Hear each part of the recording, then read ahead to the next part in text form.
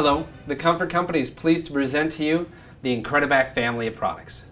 The IncrediBack family comes in three different styles.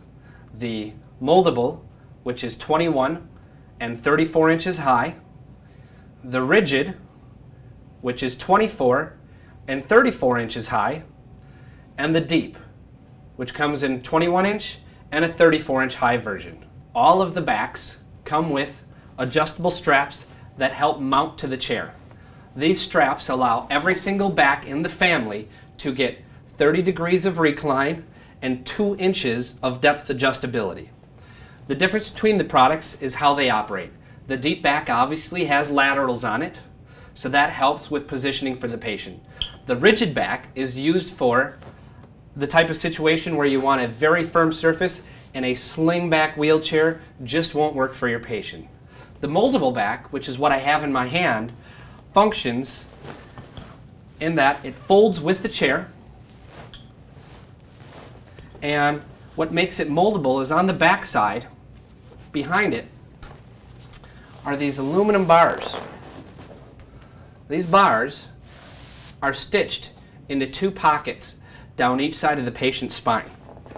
What those do is allow the caregiver to mold the back over their knee or the table to start giving the back some shape to accommodate the user's needs. What this looks like is this.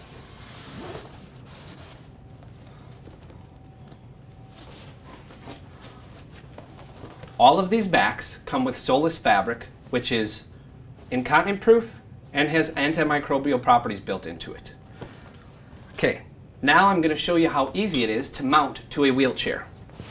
What I'm going to do is place this around the existing back and buckle it into place.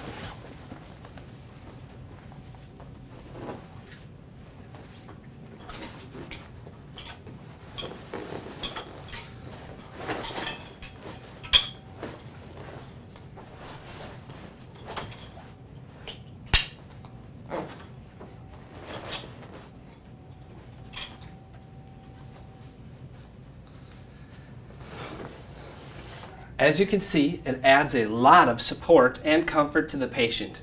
It can be molded to their shape as needed and molded over and over again if desired.